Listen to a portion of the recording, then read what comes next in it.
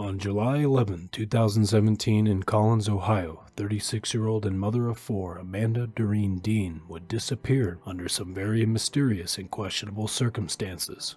At the time of Amanda's disappearance, Amanda had been in an abusive relationship with an ex boyfriend by the name of Fred Rear, and still to this day, Fred has never been questioned or interviewed by any law enforcement officials.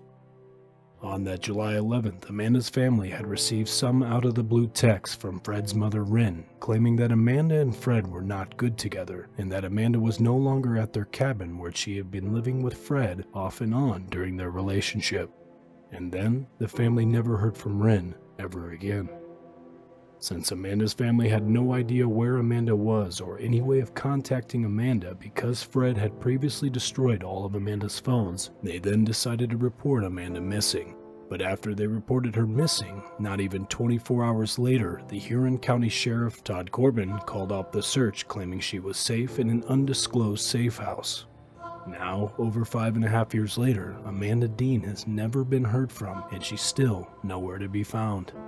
There has been a tip called in from an anonymous caller that Amanda's ex Fred stated he was planning on killing Amanda and stuffing her in some blue barrels that were on the anonymous caller's father's property. But this claim has never been investigated and this person has never been spoken to about this.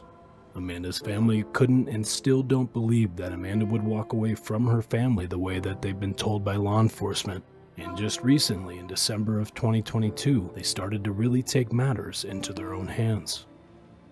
Amanda's mother, Carolyn, had been told by Corbin for years that Amanda was somewhere safe, but after no sign of Amanda this entire time, Carolyn went down to the sheriff's station and demanded some kind of proof of life, which Corbin ultimately could not provide, and then later on he even released in a statement in a press conference that he had no idea where Amanda was.